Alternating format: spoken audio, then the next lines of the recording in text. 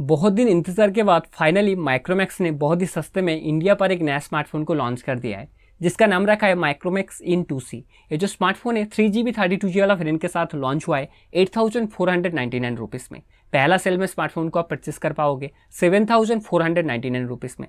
और उसके हिसाब से देखा जाए, जो स्मार्टफ़ोन है, जो स्पेसिफिकेशन प्रोवाइड कर रहा है, वो लाजवाब रहने वाला है। जैसे स्मार्टफ़ोन के अंदर बहुत बड़ा सा डिस्प्ले देखने को मिल जाएगा, उसी के साथ स्मार्टफ़ोन के अंदर है यूनी एस की तरफ़ से टी सिक्स हंड्रेड टेन उसी के साथ यहाँ पर है फाइव थाउज़ेंड एम की बैटरी ये जो स्मार्टफ़ोन है, जो स्पेसिफिकेशन प्रोवाइड कर रहा है, लगभग सेम स्पेसिफिकेशन प्रोवाइड कर रहा है इन्फिनिक्स के तरफ़ से brand new smartphone Infinix Hot eleven two thousand twenty two इसलिए बहुत सारा दोस्त कन्फ्यूज़ है दोनों स्मार्टफ़ोन लेकर क्या अभी मुझे इन्फिनिक्स के साथ जाना चाहिए या माइक्रोमैक्स के साथ जाना चाहिए? कौन सा स्मार्टफ़ोन आपके लिए बेस्ट होने वाला है और कौन सा स्मार्टफ़ोन आपको परचेस करना चाहिए? ये सब कुछ जानने के लिए वीडियो आप एंड तक ज़रूर देखते रहिए। अगर आप मुझे पहली बार देख रहे हो, मैं हूँ संजय। स्वागत है हमारे यूट्यूब चैनल पर। अगर आपको वीडियो अच्छा लगता है तो एक लाइक करना। उसी के साथ चैनल को कर लीजिए सब्सक्राइब नोटिफिकेशन बिल को ज़रूर ऑल में क्लिक करना। तो शुरुआत करते हैं दोनों स्मार्टफ़ोन की बिल क्वालिटी एंड डिज़ाइन से। कौन सा स्मार्टफ़ोन देखने में खूबसूरत रहने वाला है? ऑब्वियसली यहाँ पर Infinix Hot eleven two thousand twenty two जो स्मार्टफ़ोन है, देखने में खूबसूरत रहने वाला है। ये जो स्मार्टफ़ोन आता है पॉलीकार्बोनेट फ्रेम के साथ पॉलीकार्बोनेट बैक रहने वाला है और पीछे की तरफ़ ग्लॉसी लुक देखने को मिल जाएगा। पीछे की तरफ़ है dual camera setup LED flash देखने को मिल जाएगा। उसी के साथ इन्फिनिक्स का ब्रांडिंग रहने वाला है।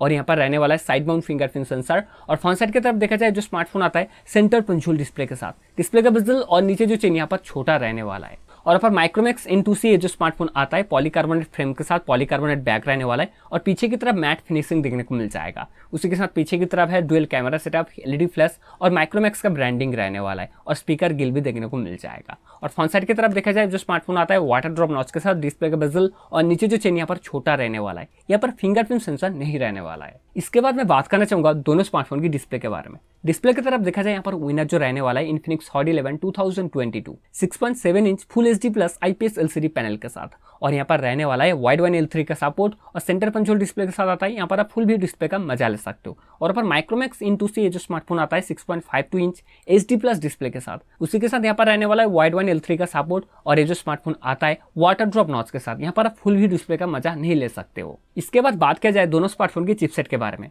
दोनों स्मार्टफ़ोन आता है यूनी एसओसी की तरफ़ से T six hundred ten chipset के साथ, जो कि एक ऑक्टाकोर चिपसेट है। इसका जो क्लॉक स्पीड रन करता है 1.8 पॉइंट में और ये जो चिपसेट बना हुआ है 12 नैनोमीटर पर। अब दोनों स्मार्टफ़ोन के अंदर बीजीएमआई गेम या फ्री फायर को बहुत ही आसानी से खेल पाओगे। लैग हैंग या ओवर हीटिंग का इशू वगैरह नहीं देखने को मिलेगा। चलिए, इसके बाद मैं बात करना चाहूँगा दोनों स्मार्टफ़ोन की कैमरा के बारे में।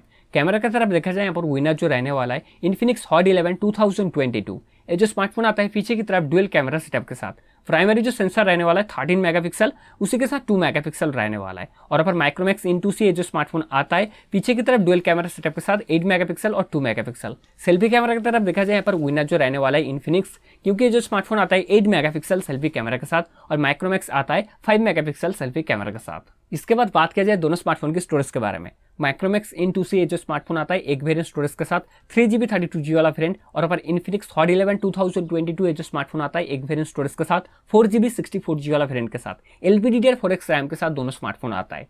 चलिए, इसके बाद मैं बात करना चाहूँगा दोनों स्मार्टफ़ोन की बैटरी के बारे में। दोनों स्मार्टफ़ोन आता है फाइव थाउज़ेंड बैटरी के साथ इनबॉक्स आता है टेन वाट का एडेप्टर के साथ। उसी के साथ दोनों स्मार्टफ़ोन के अंदर three point five M audio jack रहने वाला है और दोनों स्मार्टफ़ोन के अंदर टाइप सी का पोर्ट रहने वाला है। तो ये तो था स्पेसिफिकेशन दोनों स्मार्टफ़ोन के बीच, आपको पता चल गया है कौन सा स्मार्टफ़ोन अच्छा स्पेसिफिकेशन प्रोवाइड कर रहा है। चलिए, इसके बाद मैं बात करना चाहूँगा दोनों स्मार्टफ़ोन की प्राइस के बारे में।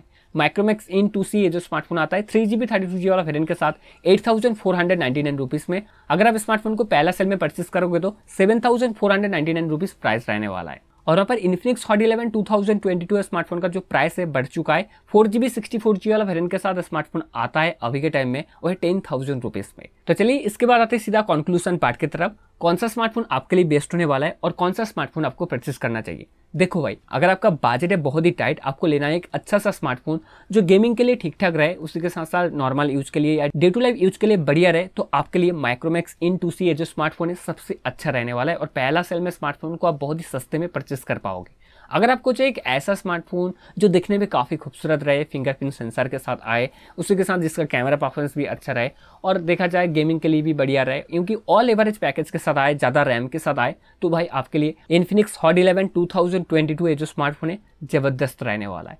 तो मैं कहना चाहूँगा, अगर आपको ज़्यादा रैम का रिक्वायरमेंट है, अगर आपका बजट थोड़ा ज़्यादा है तो आप इन्फिनिक्स की तरफ़ जा सकते हो। मेरे हिसाब से भी इन्फिनिक्स बढ़िया रहने वाला है। तो आपको क्या लग रहा है? आपके हिसाब से कौन सा स्मार्टफ़ोन अच्छा रहने वाला है? आप कौन सा स्मार्टफ़ोन के साथ जाना चाहते हो? आप मुझे कमेंट में ज़रूर बता सकते हो। क्योंकि सबका राय तो अलग अलग होता है। उम्मीद करता हूँ आपको वीडियो पसंद आया होगा। उम्मीद करता हूँ मैंने आपका सारे डाउट क्लियर कर दिया। अगर आपको वीडियो पसंद आता है तो एक लाइक करना। उसी के साथ चैनल को कर लीजिए सब्सक्राइब नोटिफिकेशन बिल को ज़रूर ऑल में क्लिक करना। तो आज के लिए इतना ही, मिलते हैं अगले फ्रेश वीडियो में। तब तक के लिए bye friends take care friends